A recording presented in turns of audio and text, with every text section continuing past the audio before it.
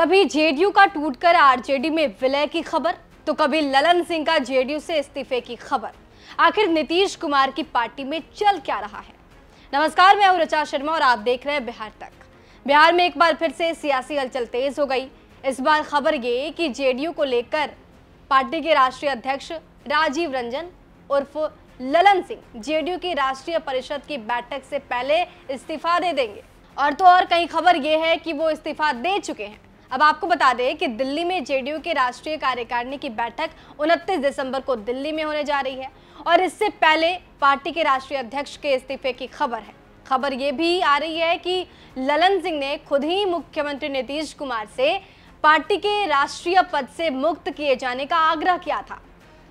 लेकिन नीतीश कुमार ने उनसे लोकसभा चुनाव होने तक पद पर बने रहने को कहा था।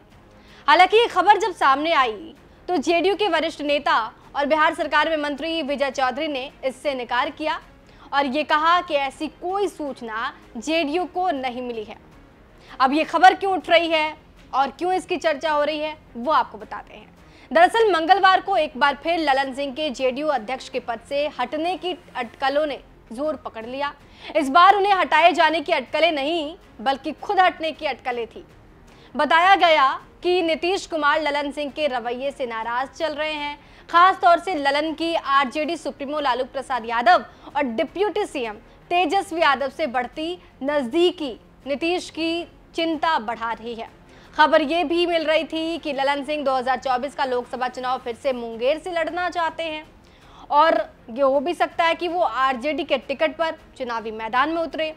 और नीतीश कुमार को ये खबर मिली कि ललन सिंह विपक्षी गठबंधन के घटक दलों के साथ ठीक तरह से समन्वय नहीं कर रहे हैं। शायद यही वजह है कि दिल्ली में उन्हें कोई भी नई ज़िम्मेदारी, अहम ज़िम्मेदारी नहीं मिली। जिसके बाद से जेडीयू में खटपट की खबर चल रही थी और इसी बीच ये खबर पनपती है कि जेडीयू के राष्ट्रीय अध्यक्ष ललन सिंह पार्टी से इस्तीफा दे देंगे, अपने पद से इस्तीफा दे देंगे।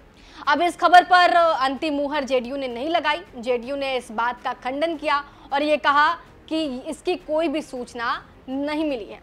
लेकिन जिस तरीके से ये खबर सामने आई, उसके बाद से अब ये अटकलें लगाई जा सकती हैं कि आने वाले वक्त में बिहार में एक बड़ा सियासी भूचाल ज़रूर देखने को मिलेगा। आपको इस खबर के बारे में क्या कुछ कहना है? जो खबर सामने आ रही है कि जेडीयू के राष्ट्रीय अध्यक्ष ललन सिंह ने अपने पद से इस्तीफा दे दिया है।